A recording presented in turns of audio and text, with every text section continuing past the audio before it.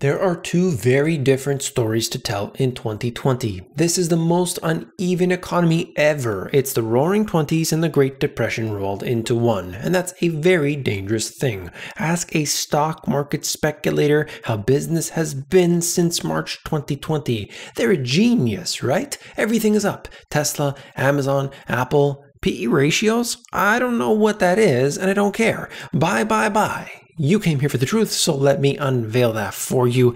A little bit of humor to start the video. We're going to talk about the K-shaped recovery. That is, some are doing well, some are not at all. And we are going to look at what is important because I'm going to show you how many people are struggling and at the same time, how many people are doing fantastic. And that really comes in two very different ways. I have been highlighting this all along, all throughout 2020, and of course before that, but it has never been worse in history as far as I'm aware. The chasm in between the haves and the have nots grows every single day.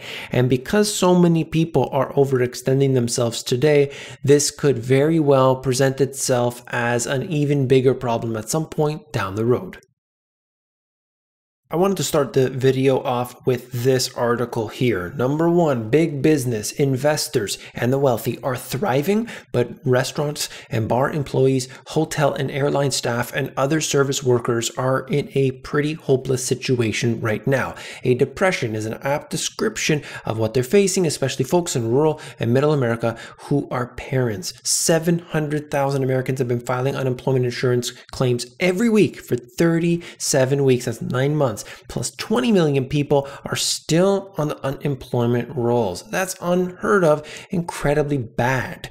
Now, I just wanted to touch on something. I saw a video, really quick video today of a lady whose restaurant was shut down and basically with all the lockdowns and everything, they can't survive. She said her workers won't be able to survive. And what happened just around the corner from her, there's a Hollywood set that they set up outdoor dining tents, and that is allowed to operate. And this is the problem that we have.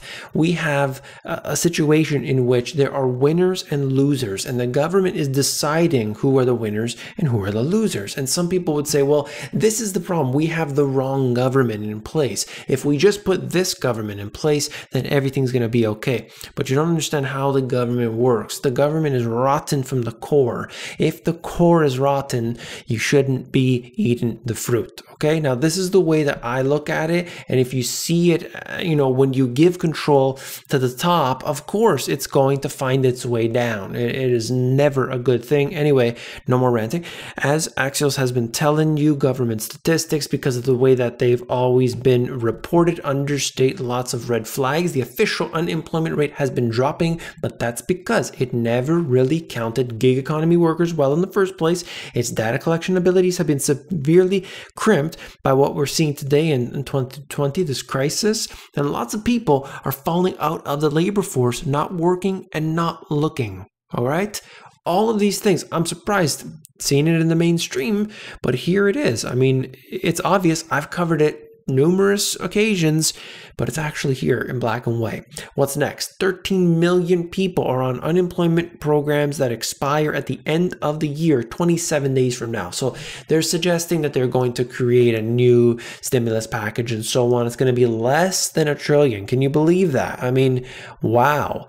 Wow, less than 1 trillion. I mean, what is the effect of that? Is there even a value in less than 1 trillion? I mean, you printed up so many trillion already. Why not just throw 50 trillion in there? Throw 100 trillion, get the economy booming, and we'll see what happens to the currency. We'll talk more about the dollar in a moment food banks, food pantries. There are some serious issues happening, and this is one key indicator that I have been following because it's everywhere, no matter where we look. It could be in California, could be in Texas, could be in New York, all the same thing. I know people will say that, oh, well, they're just trying to get some free food and so on, and they have nice cars, and I get that. I do get that, but there's no question about it. The amount of people using these services has increased significantly. Sometimes you see threefold, sometimes you see fivefold, tenfold. It all depends. This one here happens to be Texas. The need for money to stock Collin County food pantries has reached a crisis level. Last year, they were supplying about 4,500 pounds of food a month. November 2020, they provided I, I mean, just look at the difference 130,000 pounds. So they went from 4,500 to 130,000 pounds.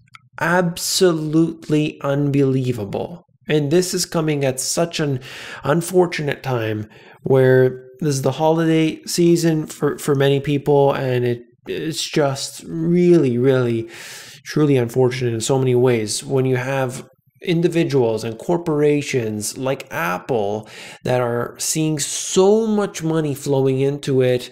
And then you have the exact opposite coming for millions of people. And what is the solution? Let's create a stimulus package to give people a few hundred bucks a month. That doesn't fix the problem. This is a serious issue that unfortunately will not be resolved by government.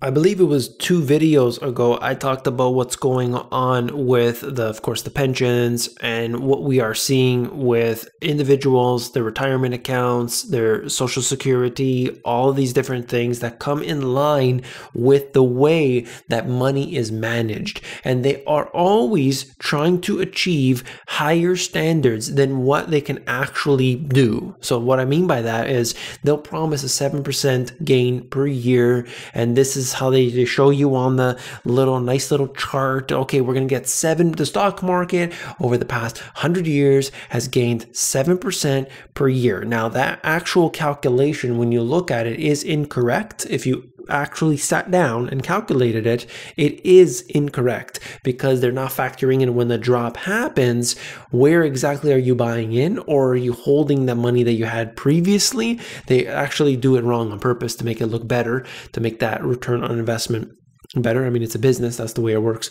But also, student debt and other forms of debt are something that really should be factored in here.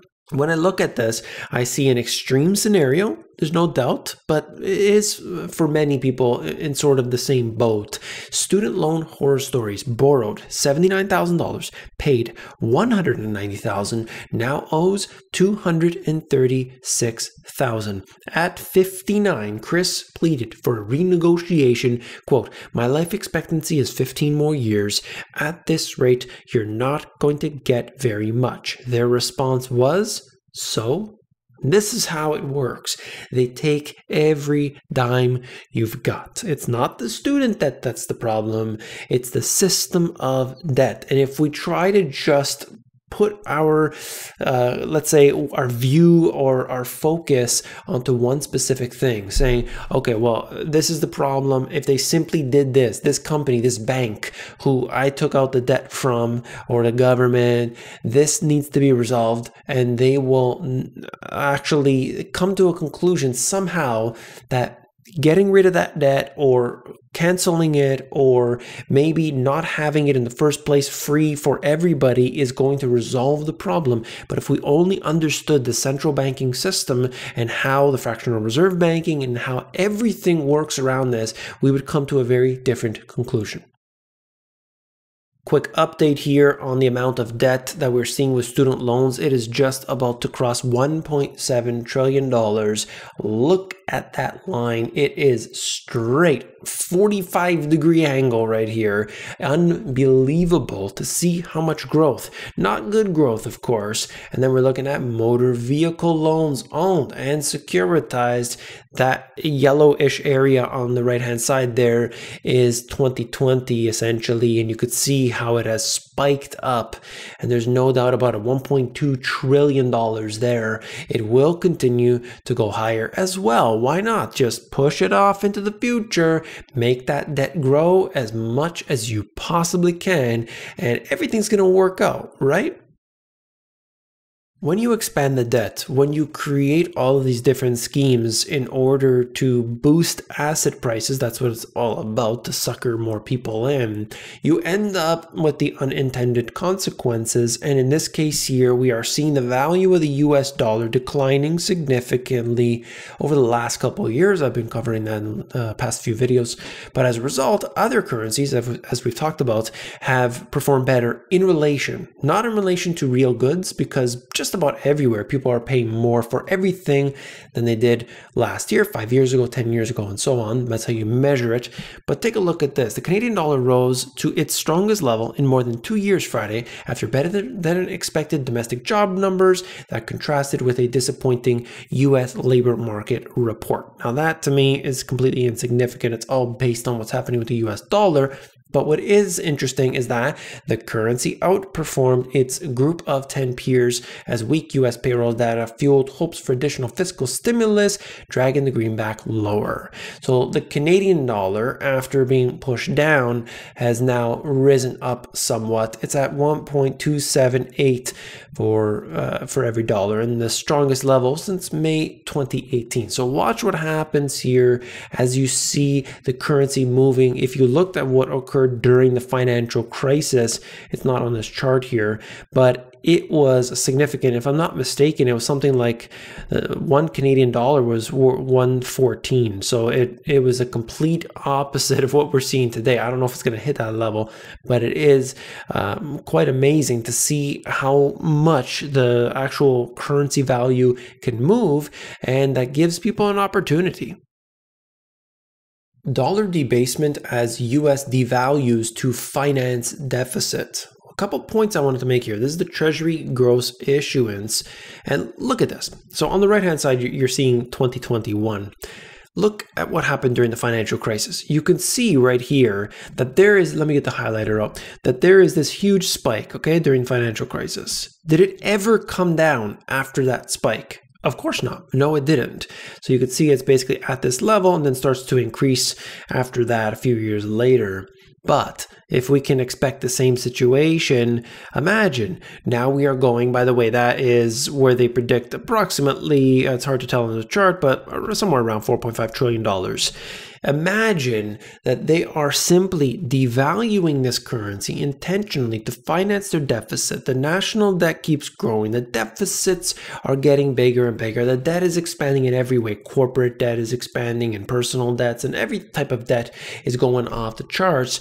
And in order to make this actually, I don't want to say possible to pay back, but because at this point it is mathematically impossible. But the way that you could is simply to devalue the currency to the point of confetti, and then anything is easy to pay back. What I've seen in previous cases, uh, we have examples of this where the devaluation is so bad that they actually start to peg it to the inflation rate. So it's not as if it's 5, 10, 20% inflation where, you know, the bank basically gets paid back less as a result, or whoever the lender is is just going to get less out of it in the end. No, no, they actually peg it to the inflation rate, and that would, in effect, uh, create a problem for the holder of that because chances are they're dealing with other things at the time. If there's uh, too much inflation, they're going to be dealing with some issues. There's no doubt about it. Ask anybody from a developing nation that's dealing with um, different problems in their own society and, and the things that they have to deal with. The financial system becomes corrupt and you got nothing but problems. Really quickly want to move through this here. I know I've been ranting, uh, but I, you know the way I feel is if I have something to get off my chest, if I have something that I need to share with you that I think is vital, that is critical, then I, I want to put it out there, even if it makes the videos too long and Anyway, record $25 billion into emerging market stocks in the past four weeks. You can see the chart on the left hand side, emerging market equity flows. Of course, as always, data coming from the EPFR. On the right hand side, largest gold outflows over the past ever uh, in the past three weeks. And just see that change leading up into 2020. And then as we move through the re remainder of this year, it is just getting slaughtered right now. This one right here on the left hand side shows us the second largest inflows to TIPS ever this week. So I don't know why exactly that this is happening at this time, but in comparison to what we saw, it's hard to tell on this chart here. I believe earlier in 2020 or perhaps end of 2019. It looks like beginning of 2020, where there was a huge outflow. Now there's somewhat of an inflow taking place there on the right hand side. $36 of inflow for every $100 of outflow since January 2020. And that's emerging market equities, financials, Europe, US value, US small cap flows. So there's just some information if you wanted to check it out. But let me show you what's happening right here. You can see once again, as expected, Brexit deal is off the table. Oh no, all right, we're done with the Brexit thing. Everybody drop it. How many times does this thing have to go back on and off and on and off? It's like a bad relationship. My goodness. Get the deal done. If the people want it done, we should be getting it done. And in a bit of insanity, DoorDash boosts its IPO target, now seeks to raise $3 billion. $3 billion for this company here that they've said specifically, we're not even sure if we can ever be profitable, but nobody cares. Look at what happened with those that imitation meat company. I can't remember the name right now, it's escaping me, but it's it went crazy. You remember it was going up 100% every week. And then you looked at all these other companies that would IPO. Oh, that's a bad company. Oh, it's losing money every single month. Okay, great. Let's just throw billions of dollars at it. It's crazy. That's what 2020 is about. It is in many ways worse than 2000, but people ignore that and they deny it because they are over leveraged and that is never a good sign. That's all for this video. If you found it informative, hit that thumbs up button. When you do, you are supporting me. I want to thank you for that. If you want to learn about e-commerce, you can do that for free at the AmazonGPS.com. If you want to know about the financial system, top to bottom, A to Z, all the details are in these two books. Check them out at the link in the description if you want the audiobook. Instead, themoneygps.com. And wait a second, have you seen this video yet? Really good details, really good data. Definitely check it out, and I'll see you there.